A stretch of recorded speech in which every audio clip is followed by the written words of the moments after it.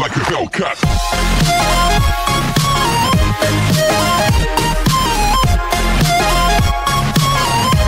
So part four की starting में दिखाया गया कि एमी वेंजो वास्को और उसके दोनों दोस्त जो कि चारों तरफ़ से घिर चुके हैं, यानी उन्हें ये सभी गुंडे बहुत बुरी तरह मारने ही वाले थे। कि तभी पुलिस भी वहाँ आ गई जिसे देख वो सभी वहाँ से भागने लगे? क्योंकि युआन ने पुलिस को कॉल करके सब बता दिया था, जिस वजह से इनकी जान बच गई। वेल, अब नेक्स्ट डे दिखाया गया कि किसी स्टूडेंट ने कंप्लेंट बॉक्स में एक लेटर डाला बट वो कौन है, ये हमें बताया नहीं जाता। जिसके बाद अब हम लीजन को टीचर ऑफ़िस में देखते हैं, जो कि लीजन को बहुत बुरी तरह डांट रही थी, क्योंकि उन्हें कंप्लेंट मिली है कि लीजन बच्चों के पैसे छीनता है और उन्हें मारता है। इसलिए वो कहती हैं कि अभी उन सभी बच्चों से माफ़ी मांगो, वरना तुम्हें स्कूल से निकाल दिया जाएगा। लीजन पूछने लगा, पर कंप्लेंट की किसने है? तो इस पर वो बताती हैं कि नाम मेंशन नहीं है। लीजन समझ गया कि पक्का ये काम युआन का ही होगा, इसलिए वो कैफेटेरिया आकर युआन को बहुत ही ज़्यादा बुरी तरह मारने लगा। तो तब एमी उसे रोकने की कोशिश करने लगी, मगर चाओ काफ़ी ज़्यादा डर रही थी। लीजन एमी को दूर होने के लिए कहता है एंड देन योन का पीछा करते हुए वहाँ से चला गया। दूसरी तरफ़ वास्को और वेंजो, जो कि अब दोस्त बन चुके हैं, कि तभी एमी उन्हें भी मैसेज कर सब बता देती है। तो तब ये सभी लोग कैफेटेरिया में बैठकर सोचने लगे कि अब वो युआन को कैसे बचाए। जिसके बाद अब रात हो गई जहाँ वेंजो फिर से हाना की डैड से जॉब मांगने आया। उनसे बहुत ज़्यादा रिक्वेस्ट करके तो तब हाना के डैड वेंजो को वापस से जॉब पर रख लेते हैं। कि तभी थोड़ी बहुत देर के बाद वेंजो को बाहर से कुछ आवाज़ें आई। एक्चुअली युआन पकड़ा जा चुका था, जिसे लीजन बहुत बुरी तरह मार रहा है। तो तब वेंजो भी बीच में आ गया, ये कहते हुए कि, प्लीज़ युआन को मत मारो, क्योंकि वो मेरा दोस्त है। तो ये सुन लीजन ज़ोर ज़ोर से हंसने लगा कि क्या युआन सही में किसी का दोस्त हो सकता है? चलो तो फिर ठीक है, एक गेम खेलते हैं जिसमें तुम दोनों एक दूसरे को मारोगे और जो जीतेगा उसे मैं छोड़ दूँगा। तो ये सुन, युआन नॉन स्टॉप बेचारे वैंजो को मारने लगा क्योंकि वो काफ़ी खुदगर्ज है। तो तब लीजन कहता है कि देखा, ये युआन कभी किसी का दोस्त नहीं बन सकता, इसलिए बीच में मत पड़ो और यहाँ से जाओ। एंड देन फिर से युआन को काफ़ी बुरी तरह मारने लग जाता है। जहाँ युआन बताता है कि मैंने रिपोर्ट नहीं की, पक्का एमी ने की होगी, क्योंकि वही सबके मैटर्स में टांग अड़ाती है तो तब लीजन ने युआन को छोड़ दिया, जिसके बाद अब युआन वेंजो से माफ़ी मांग रहा है, क्योंकि वो अपनी जान बचाने के चक्कर में काफ़ी सेल्फिश बन गया था तो तब वेंजो बोलता है इट्स ओके वेल अब नेक्स्ट सीन में लीजन, जो कि बहुत ज़्यादा गुस्से में है, कि एमी आखिर कैसे उसकी कंप्लेंट टीचर से कर सकती है इसलिए वो उस पर चिल्लाने लगा, मगर एमी भी डरी नहीं, बल्कि उसने जुट के लीजन का सामना किया और ये भी बताया कि मैंने कोई कंप्लेंट नहीं की, मगर वो मानता ही नहीं और कहता है कि तुम्हें ये सोचने की ज़रूरत नहीं कि तुम लड़की हो तो मैं तुम्हें छोड़ दूँगा। मैं बस इसलिए तुम्हें कुछ नहीं कहता हूँ क्योंकि तुम चाओ की दोस्त हो। तो तब एमी कहती है कि चाओ तुम्हें कभी पसंद नहीं करेगी, क्योंकि तुम एक बहुत ही ज़्यादा बुरे इंसान हो। जिस बात को सुन लीजन उसे पंच मारने ही वाला था कि तभी वेंजो ने वहाँ आकर एमी को बचा लिया। एंड उसको अपने साथ वहाँ से लेकर जा ही रहा था, जिसे इससे पहले कि लीजन रोक पाता कि तभी वेंजो ने उसे जोरदार किक मारी। एंड देन एमी का हाथ पकड़ वहाँ से भागने लगा। लीजन भी इन दोनों का पीछा करता है, मगर ये दोनों उसके हाथ नहीं लगते, बल्कि एक कबड़ में आके छुप गए। जिन्हें ढूँढने की लीजन ने काफ़ी कोशिश की कि आखिर ये दोनों कहाँ गायब हो गए।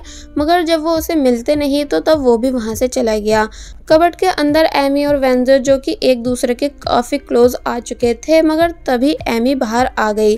सिचुएशन काफ़ी ऑकवर्ड थी, क्योंकि वेंजो ने अभी तक एमी का हाथ छोड़ा नहीं था, मगर फिर तभी छोड़ देता है एंड देन काफ़ी ज़्यादा शर्माने लगा। क्योंकि अब कहीं ना कहीं ये दोनों एक दूसरे को लाइक करते हैं। वेल अब नेक्स्ट डे दिखाया गया एक वीडियो पूरे स्कूल में वायरल हो चुकी है, जब वेंजो एमी को लीजन से बचाकर भाग रहा था। इसलिए सभी लोग वेंजो को हीरो कहने लगे, जबकि हाना ये वीडियो देख बहुत ज़्यादा जेलस हुई। इसलिए डिसाइड करती है कि अब वो एमी को सबक सिखाएगी, ताकि वो उसके वेंजो का पीछा छोड़ दे। कैफेटेरिया में लीजन काफ़ी ज़्यादा गुस्से में है, क्योंकि वीडियो की वजह से उसकी पूरे स्कूल में मज़ाक बन चुकी है। कि उसको कैसे वेंजो नाम के लड़के ने मारा। इसलिए वेंजो को आता, देख, वो उसके पास आकर उसका खाना फेंक देता है। एंड कहने लगा कि आज से तुम्हारे और इस एमी के बुरे दिन शुरू। यानी अब मैं तुम दोनों को छोड़ूँगा नहीं, और फिर वहाँ से चला गया। और फिर गेमिंग जोन आकर अपना पूरा गुस्सा निकालने लगा। ये कहकर कि, पता लगाओ, आखिर ये वेंजो कौन है और कहाँ रहता है? वेल well, अब नेक्स्ट डे हम देखते हैं कि एमी जब जैसी क्लास आई तो तब उसे अपनी डेस्क खराब मिली। एमी समझ गई कि ये काम ज़रूर हाना का है मगर हाना उसे कोई रिस्पॉन्स ही नहीं देती है। फिर जब वो अपना लॉकर खोलने आई तो उसमें स्नेक रखा देख बहुत ज़ोर से चिल्लाने लगी मगर पता चला कि ये फेक था। कि तभी क्लास लीडर ने आकर बताया कि वो लोग एमी के साथ किए हुए सभी ऑर्डर्स को कैंसिल कर रहे हैं। क्योंकि उसके डिज़ाइन बेकार हैं। एमी पूछती रह जाती है कि आखिर आप लोग मेरे साथ ऐसा क्यों कर रहे हो, मगर वो कोई आंसर नहीं देती। दूसरी तरफ़ युआन छुपकर वेंजो को सभी बातों के बारे में बताने आया कि इस टाइम लीजन तुम्हारे खून का प्यासा है, इसलिए उससे बिल्कुल भी अकेले में मिलना मत, कि तभी लीजन भी वहाँ आ गया अपने दोनों दोस्तों के साथ। क्योंकि उसे पता था कि यह गद्दार युआन वेंजो को अलर्ट करने ज़रूर आएगा, इसलिए उसने युआन को किक मार के भगा दिया। एंड वेंजो को सबक सिखाने के लिए फाइटिंग के लिए तैयार हो गया। दोनों के बीच ज़बरदस्त फाइट हुई, मगर अब क्योंकि लीजन एक प्रोफेशनल बॉक्सर है, इसलिए वो आसानी से वेंजो को हरा देता है और अब इससे पहले कि उसकी हालत और बुरी कर पाता, कि तभी स्कूल फाइटर वास्को भी वहाँ आ गया, जो कि लीजन से ये सब रोकने को कहने लगा। तो तब लीजन बोलता है कि अच्छा अगर तुम चाहते हो तो तुम भी मुझसे फाइट कर सकते हो बट वास्को ने लड़ने से इनकार कर दिया, क्योंकि ये दोनों पहले दोस्त रह चुके हैं, इसलिए वास्को शांति से बात खत्म करना चाहता है तो तबलीजन भी चुपचाप वहाँ से चला गया। वास्को ने वेंजो की हेल्प कराई उसे उठाने में तो तब वो पूछता है कि तुम लोगों को कैसे पता चला कि मैं यहाँ हूँ? तो इस पर वो लोग बताते हैं कि हमें कहीं से खबर मिली थी कि तुम लीजन के टारगेट पर हो, इसलिए हम उसका पीछा करते करते यहाँ तक आ गए। वेल, अब नेक्स्ट सीन में वेंजो अपने घर आ गया, जहाँ बैठकर उसे वास्को की बातें याद आने लगी। जिसने पहले वेंजो को कुछ फाइटिंग टिप्स बताई जिनका यूज़ वो अपनी जान बचाने के लिए कर सके, और फिर कहता है कि तुम में ताकत तो बहुत है, बस तुम उसे यूज़ नहीं कर पा रहे हो। यानी या तो तुम्हें हारने का डर है या फिर लीजन का, इसलिए अपने अंदर कॉन्फिडेंस लाओ। तो तब इन बातों को प्रेजेंट में सोचते हुए वेंजो काफ़ी परेशान होने लगा। दूसरी तरफ़, एमी अपनी सिस्टर से डांट सुन रही है कि उसको क्या ज़रूरत थी दूसरों के मैटर में पढ़ने की। अब देख लो, तुम्हारी वजह से सभी यूनिफॉर्म डील कैंसिल हो गई। तो तब एमी को काफ़ी बुरा लगने लगा कि तभी चाओ उसे कॉल कर एक वीडियो देखने को बोलती है, जिसके अंदर हाना और क्लास की बाकी लड़कियाँ एमी के बारे में बहुत बुरा भला कह रही थी। कि वो जानबूझ के वेंजो की दोस्त बनी है ताकि उसे पटा सके। इसलिए ये सब देख एमी को गुस्सा आने लगा। जिस वजह से वो रात में हाना से बात करने आई कि आखिर उसकी प्रॉब्लम क्या है, यानी कि हाना अब उससे इतना ज़्यादा जलने लगी है कि उस पर झूठे इल्ज़ाम लगाने लगी। जिन बातों को बाहर से वेंजो भी सुन रहा था, मगर अब खुद पर जेलिसी का नाम सुन हाना कैसे चुप बैठती, इसलिए उसने डायरेक्ट एमी को थप्पड़ मारा। एमी भी पलटकर वार करती है, फिर बस होना क्या था? स्टार्ट हो गई इन दोनों के बीच कैट फाइट। जहाँ कोई भी हार नहीं मान रहा था तो तो बेचारे वैनजे को ही बीच में आकर इन दोनों को रुकवाना पड़ा। वेल, अब नेक्स्ट डे एमी की प्रॉब्लम्स कम नहीं हुई थी, यानी नॉन स्टॉप ऑर्डर्स रिटर्न हो रहे थे। इसलिए वो हाना से एक बार फिर बात करने गई, जिसके पीछे पीछे वेंजो भी जाता है। एनी, हाना के पास आकर उससे माफ़ी मांगती है तो तब हाना उससे नीचे झुकने को कहने लगी और फिर डायरेक्ट उसके ऊपर कूड़ा फेंक देती है। एमी को बहुत ज़्यादा इंसल्टेड फील हुआ कि तभी दूर खड़ा वेंजो, जो कि इस पूरे मोमेंट की वीडियो रिकॉर्ड कर चुका था। वो इस वीडियो को दिखाकर हाना को ब्लैकमेल करता है कि अब अगर तुम एमी को परेशान करना बंद नहीं करोगी तो मैं इसे वायरल कर दूँगा और फिर वहाँ से चला गया। तो तब हाना शौक हुई भी रह गई क्योंकि जिसको पाने के लिए वो ये सब कर रही थी, मगर अब उसी की नज़रों में वो विलन बन चुकी है। इसलिए उसने परेशान होकर लीजन को कॉल की वीडियो डिलीट कराने के लिए। तो तब थोड़ी ही देर में लीजन वेंजो के पास आ गया और उससे उसका मोबाइल मांगने लगा, जो कि ऑब्वियसली वेंजो देने से मना कर देता है। और साथ ही ये भी समझाता है कि तुम मेरा और एमी का विश्वास करो, हमने तुम्हारी रिपोर्ट नहीं की थी। मगर लीजन तब भी वेंजो को बहुत बुरी तरह मारने लगा।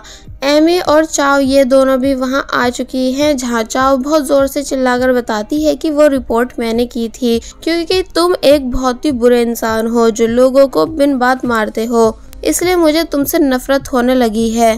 तो तब ये बात सुन लीजन के होश उड़ गए, क्योंकि उसने बिल्कुल एक्सपेक्ट नहीं किया था कि उसकी सबसे बड़ी दुश्मन चाव निकलेगी।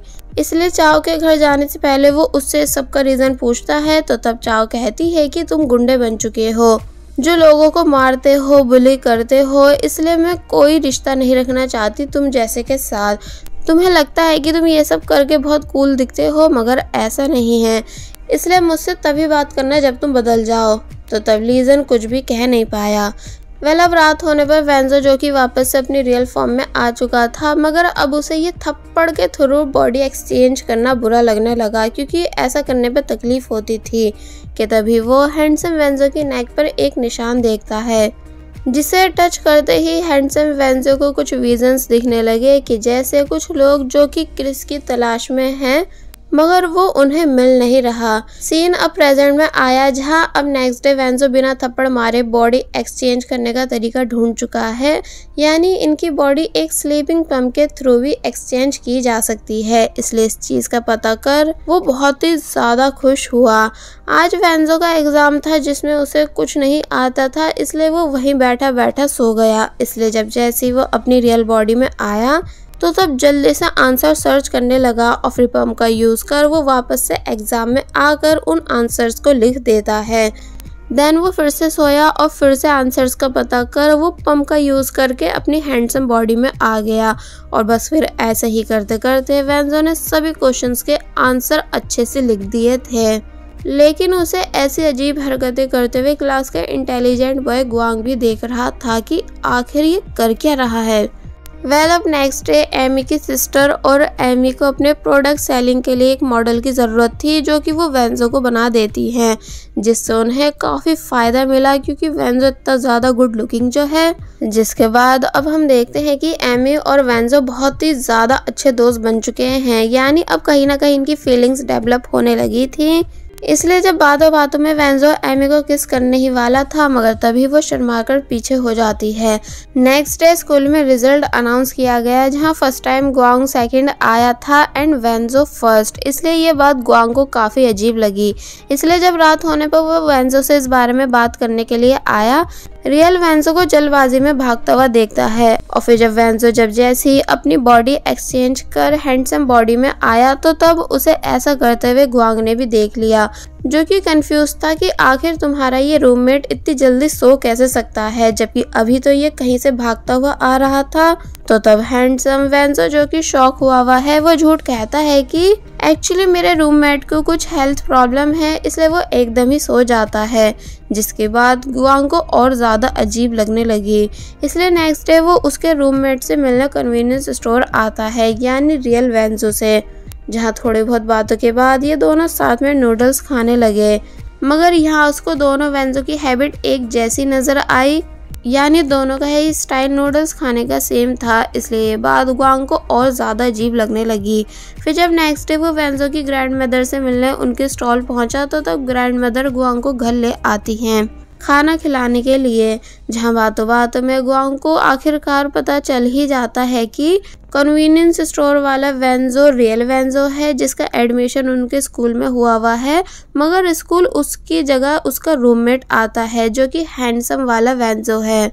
मगर ग्रैंड मदर को इस बारे में कुछ पता नहीं कि उनका ग्रैंडसन उन्हें धोखा दे रहा है। इसलिए जब इस बारे में बात करने, वो फिर से वेंजो के घर के बाहर पहुँचा तो तब एक बार फिर वेंजो बिना गुआंग को देखे घर के अंदर चला गया, क्योंकि वो आज भी जल्दबाजी में था। इसलिए जब उसने एक बार फिर अपनी बॉडी एक्सचेंज की, जिसके होते ही रियल वेंजो सो गया और हैंडसम वाला जाग गया तो तब फिर से गुआंग ने उसे ऐसा करते हुए देख लिया। इसलिए पूछता है कि मुझे सच बताओ, आखिर ये सब हो क्या रहा है? क्योंकि आज मैं ग्रैंड मदर से भी मिला हूँ, जिन्होंने मुझे रियल वेंजो का हुलिया बताया। तो तब वेंजो ने गुआंग को पूरी कहानी बता दी कि वो बॉडी एक्सचेंज कर सकता है। मगर ये बात इतनी नॉर्मल थोड़ी है जो हर कोई विश्वास कर सके, इसलिए गुआंग को लगने लगा कि वेंजो उसे अपना दोस्त नहीं मानता, इसलिए सच छुपा रहा है। मगर फिर बाद में वेंजो के बहुत यकीन दिलाने पर आखिरकार गुआंग को उसकी बातों पर यकीन आ ही गया। एंड वो ये भी समझ गया कि वेंजो एग्ज़ाम में बार बार सोता क्यों था, क्योंकि वो अपनी रियल फॉर्म में आकर चिटिंग करता था। बट गुआंग ने तब भी कसम खाई कि वो वेंजो के सीक्रेट को सीक्रेट ही रखेगा। तो ये बात सुन, वेंजो काफ़ी ज़्यादा खुश हो जाता है। वेल, अब नेक्स्ट डे हमें कुछ लोग दिखाए गए जिन्हें हैंडसम वेंजो यानी क्रिस की फ़ोटो दी जा रही है उसे ढूँढने के लिए क्योंकि ये थ्री मंथ से गायब है।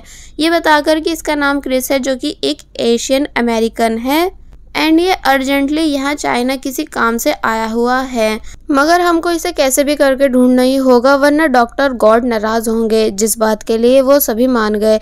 इसका मतलब क्रिस की भी अपनी एक स्टोरी है जिस वजह से वो चाइना आया है मगर अचानक वेंजो की बॉडी में चले जाने की वजह से उसका इम्पोर्टेंट काम रुक गया।